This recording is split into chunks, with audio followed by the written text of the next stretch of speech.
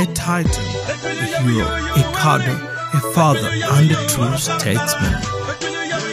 Just a few words to describe Jacob Lokori Oulanyah. Born and raised in Gulu district to the vibrant Mosaic Nathan Okori on 23rd March 1965, Jacob Lokori Oulanyah would rise up through the ashes of northern Uganda like a phoenix to forge his beautiful path to a career that would see him become a great man. A lawmaker at his best, Jacob Oulanyah, each time he would walk, it would seem like he was floating, exuding confidence, charisma, professionalism, which showed that indeed he deserved to be a Speaker of Parliament that will never be forgotten. Congratulations. You're most welcome. Yes. This was my guild speaker, and I'm very happy to welcome him here as a Speaker of Parliament. To know who Oulanyah really was, we retrace his footsteps from a humble fisherman to the Speaker of the prestigious August House. Oulanyah defied all odds and skipped very many hurdles to build an unforgettable career. Oulanyah attended St. Joseph's College Layibi, Dr. Obote College Boroboro, and Kololo Senior Secondary School before joining the prestigious Makerere University in 1988 to pursue a Bachelor in Agricultural Economics. Makerere University would shape the ambitious young Oulanyah and help him start his successful political career, beginning as a student leader. Oulanyah served as Speaker of the Makerere University Students Guild, while his good friend Norbert Mao served as Guild President. The two of them are vividly remembered for defending the rights and privileges of students when they protested against the scraping of student allowances by government. After school, Oulanyah would embark on a political career that would shape the man he was. In 2001, he would contest for the parliamentary seat of Omoro County as a member of Uganda's People's Congress in the then Gulu district under the no party system, also known as the movement political system, winning the seat to represent the constituency. However, in 2006, standing as a UPC candidate, he would lose his re election bid, his one and only blemish on his political career under the UPC ticket, he lost parliament, his parliamentary seat. But he never lost his soul as a member of UPC. Much as he left the party, he joined the NRM. He had all the attributes, all the values of UPC. He remained a pro-people person. He remained a great communicator like all UPC members, you know they are, very good communicators and he remained a down-to-earth person. In July 2006, Oulanyah quit UPC and joined the ruling National Resistance Movement in March. Personally, I belong to another party. I came to the NRM in 2006. But I came with everything that I have. The intellect, the energy, and everything. I have brought it to the NRM. So how do I transfer this and make people come to the party stay in the party believe in the party and do everything in the interest of the party and the interest of the people of this country. And in March 2011, Oulanyah was elected to represent Omoro County in the 9th Parliament, and this time as a member of NRM. We need unity. Divided, many things will not come to us. If we do things in a united way, we will achieve a huge mileage on what we need to do. On 19th May, Oulanyah was elected as Deputy Speaker of the 9th Parliament. Following the 2016 general election, Oulanyah was re-elected as Deputy Speaker on 19th May 2016 in a vote that was conducted as a secret ballot. He received 300 votes while Muhammad Nsereko received 115. On 24th May 2021, Jacob Oulanyah was voted Speaker of Parliament in a race against his former superior, Right Honorable Rebecca Kadaga and Kira Municipality MP Ibrahim Ssemujju Nganda. Oulanyah Jacob Lokori 310 votes. Kadaga Rebecca Alitwala, 197 votes. Ssemujju Ibrahim Nganda, 15 votes. Therefore, Jacob, Honorable Jacob Lokori Oulanyah obtained the majority votes of 310 votes. I therefore now declare Honorable Jacob Oulanyah, who has obtained 310 votes cast, as the Speaker-elect of the 11th Parliament of Uganda. I, Jacob Lokori Oulanyah, swear in the name of the Almighty God that I will at all times well and truly serve the Republic of Uganda in the office of the Speaker, and that I will support and uphold the Constitution of the Republic of Uganda as by law established. So help me God. Ever since joining the ruling National Resistance Movement, Oulanyah has proven to be a key chess piece in the biggest political party in Uganda.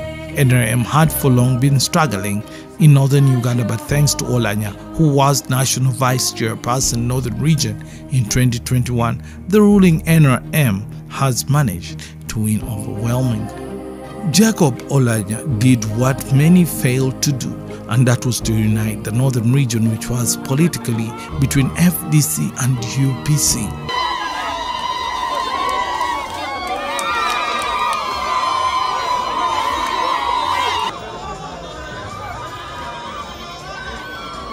During the 2021 presidential campaign, Oulanyah's oratory skills proved to be key as he always exceeded expectations in his speech. We have had one 1986, no one military coup.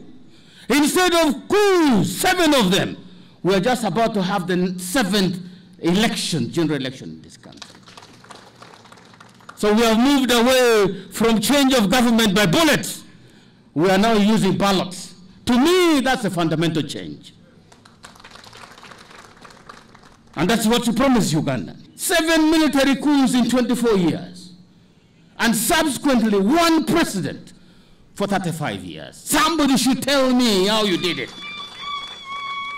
All these people are very clever, and many people listening to me should tell me.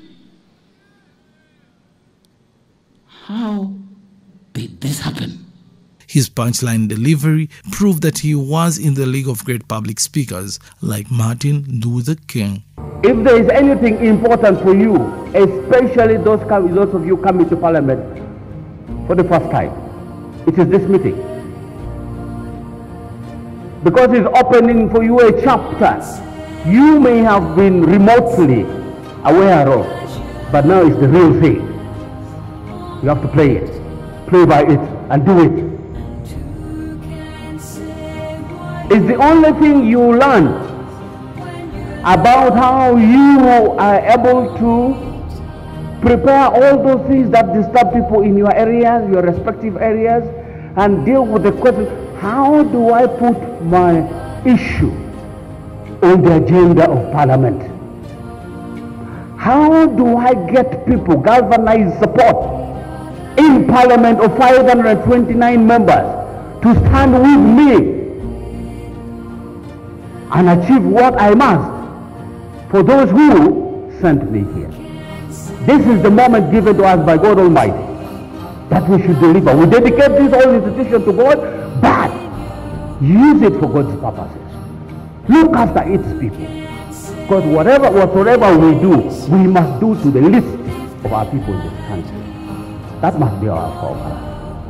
According to Jacob Oulanyah, NRM employed his door-to-door strategy to help Museveni to sweep northern Uganda of the total 5,851,000 votes.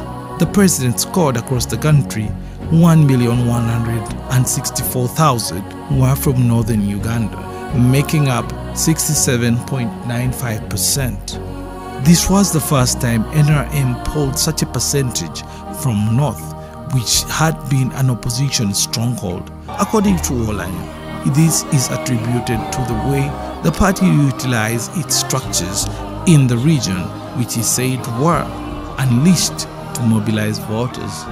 Oulanyah was able to dispel the common lies that the opposition used to compel voters in the region to vote against the NRM, hence securing the big win. In Omoro County and northern Uganda, Oulanyah is strongly remembered for his initiatives such as the Dano Padano Foundation, a rural agriculture production enhancement and marketing fund that he created to help people engaged at both household and market levels. The foundation has since created sustainable initiatives to bring resources and microfinance solutions to Omoro County. The Dano Padano became a nickname to him, but he had put a Dano Padano Foundation and he has invested his own personal resources of worth over 3 billion. This money always is given to groups that are formed in Omoro district and Omoro county respectively.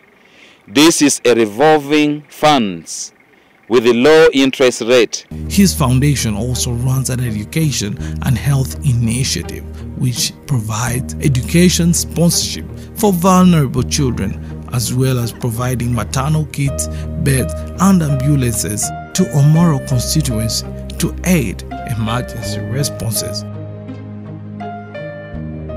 We have lost our brother, the Right Honorable Jacob Oulanyah, the Speaker of Parliament.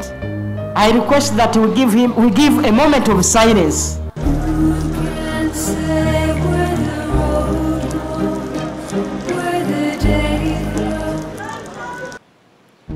He was not on oxygen, he was breathing normally.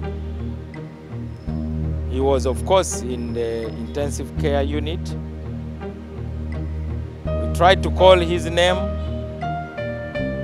Could open his eyes once in a while and see us, and I could see that he recognized us.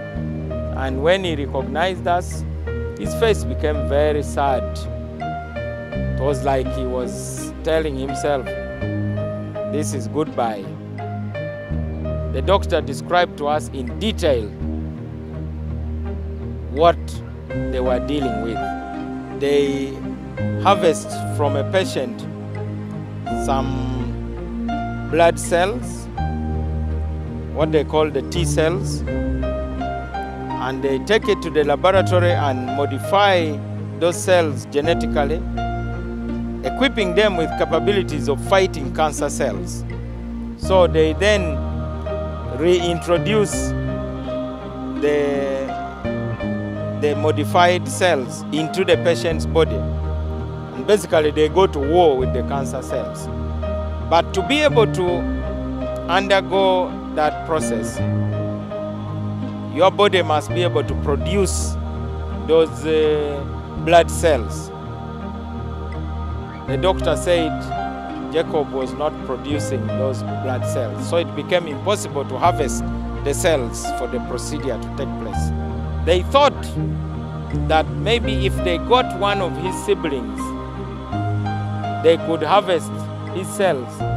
And if he's uh, genetically compatible with Jacob's uh, genes, then they could uh, modify probably his brother's blood cells and then reintroduce them into Jacob's bloodstream so that they can fight the cancer. That would have been an option, and that's one of the reasons why we went with his brother. But even then, the doctors had already concluded that Jacob was physically not in a position to take that kind of procedure. His organs were too weak. They needed time to, to boost themselves up, but at the same time, the cancer was also growing. So on that second visit, the doctor basically told us Jacob is going to slip away anytime. And he told us can be today, it can be tomorrow, it can be the day after, next week, two weeks, or later. But It's a matter of time. And he told us, as doctors, all they were doing was to ensure that Jacob spent his last days on earth as comfortably as possible. I did not know that Oulanyah was sick until when he went to Dubai. That's when I, I, I, I and he went with our doctors. That's when I checked and I, I, I knew what the problems were. From that time, I, I, I, I, started to know what the problem was. I have heard some people saying that, oh, some, some people killed Oulanyah, Oulanyah was killed. The police are going to come and say, okay, you tell us, you seem to have some information. Oh, yes, because if you say he because Oulanyah did not die in a private home. He died in a highly reputable hospital. And before that, he was in another big hospital in uh, Dubai. And before that, he was in our, in our hospitals here, including the Cancer Institute. Everything is there. I, I believe that everybody should talk about what they know. If I knew about the poison, I would be talking loudest. Jacob never told me about that. But those to whom he disclosed that he was poisoned have a duty to expound more. Who can say where the road goes, where the day flows? Only time. And who can say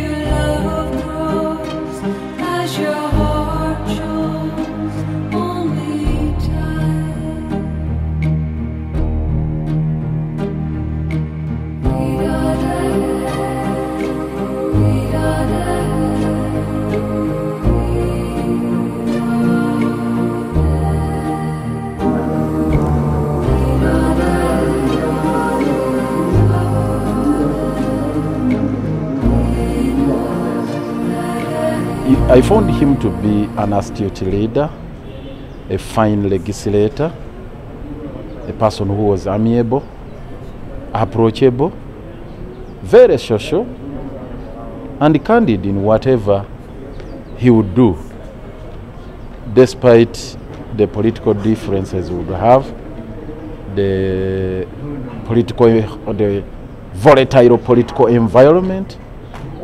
But he's one person you would talk to and he would listen. And at times he would, uh, in most cases, by the way, he's, he would uh, give you the opportunity to speak out whatever you wanted. He is not a person who was vindictive in nature, that would uh, have that vengeance against you, even if you made a ferocious attack or criticism against him. very principled man, and he's, he kept to his word. He was an accomplished lawyer and a legislator. We'll dearly miss Jacob. We love him.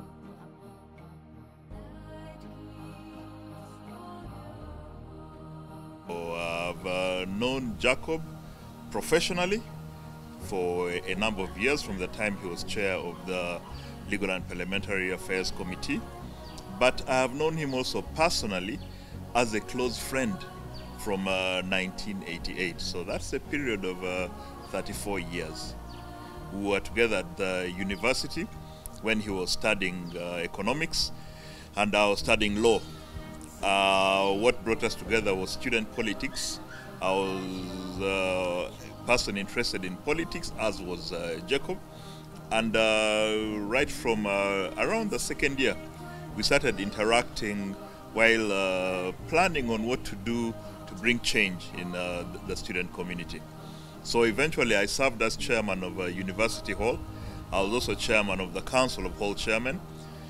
Mr. Oulanyah, the late, was uh, the, the guild speaker, and uh, our other friend Mao was uh, the, the guild president. So we were all in student leadership at that time.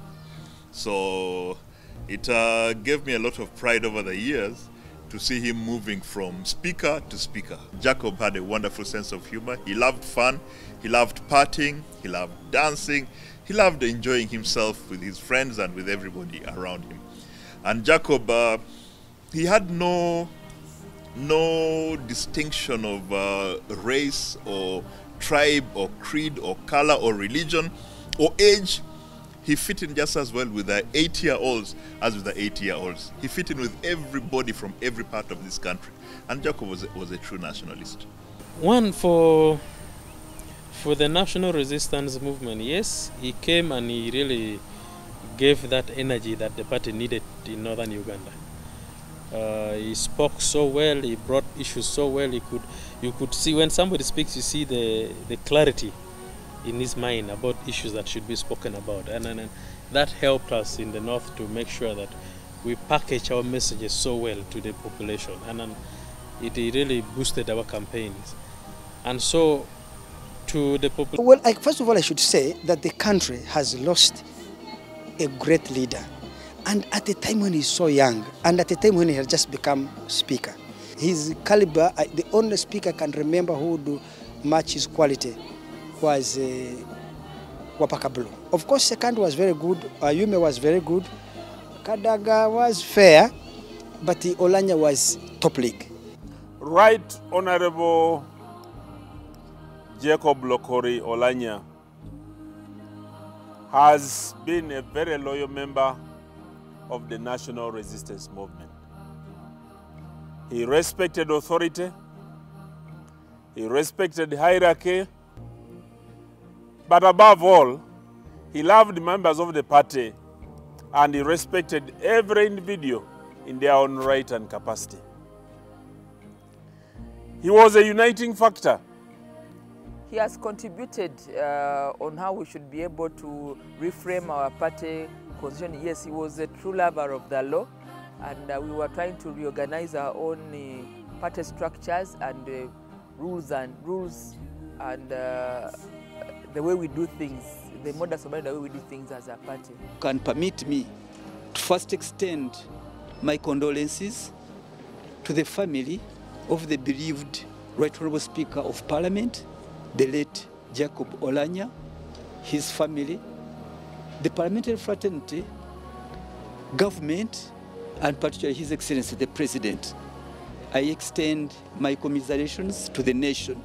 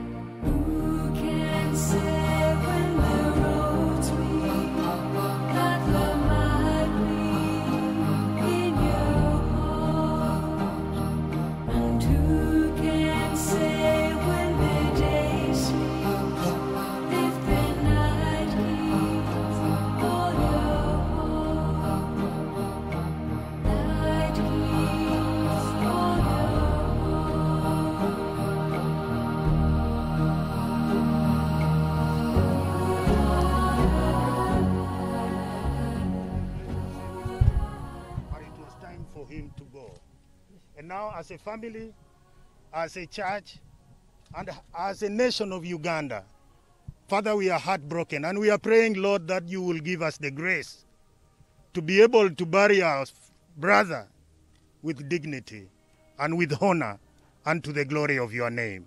May you strengthen everybody who is here.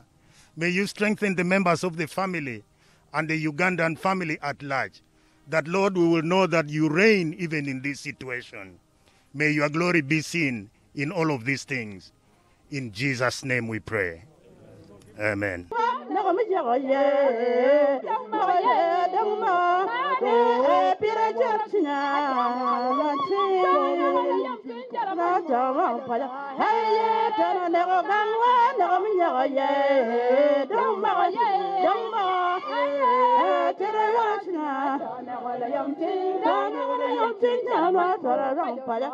Oulanyah will also be remembered for his great sense of humor, sense of style, love for motorcycles, flamboyance, love for music, and his being down to earth. So join the biking. I'm a member of the Uganda Bikers Association. Oh. His love for bow ties has inspired many to adopt a fashion sense, and when it comes to music, Oulanyah has been able to display his unique dance strokes for many to admire.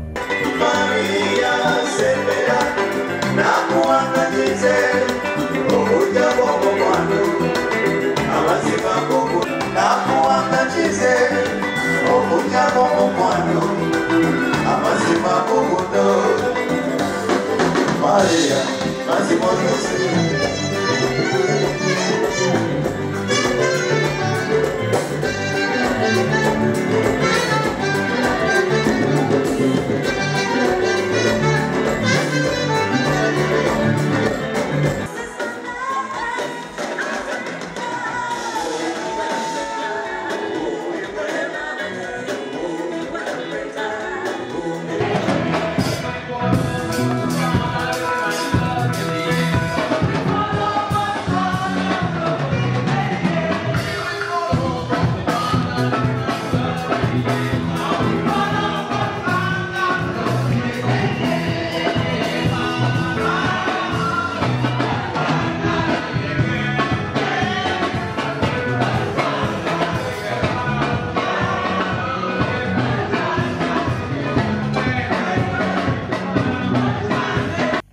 Oulanyah has indeed been a man of all seasons, a larger than life character whose love for sports was seen when he congratulated the medal winners from the 2020 Olympic Games and when he awarded Bobosi Byaruhanga the Airtel FUFA Award for the best player in the 2021 season. Another vivid memory is of him flexing muscles with kickboxing champion Golola Moses. How? I saw the I saw the fight. Yes. And I was delighted to see how you were doing. You see the way you're training. we are training so hard, yeah? At social gatherings and parties, Oulanyah has been known to dominate the dance floor and to break dance. He has been an ardent follower of the Congolese Lingala music and a huge fan of Larakaraka, the Acholi traditional dance.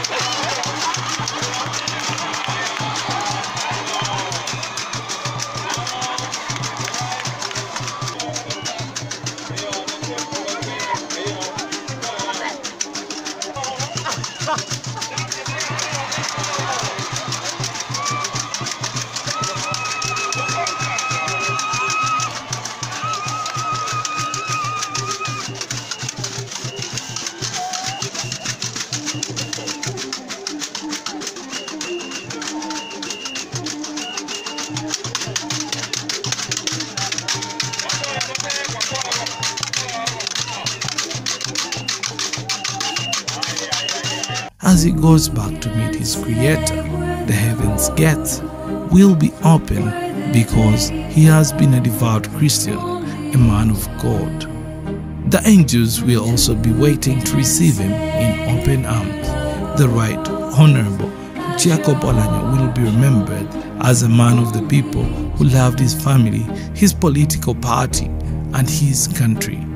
Rest in peace, Jacob Oulanyah.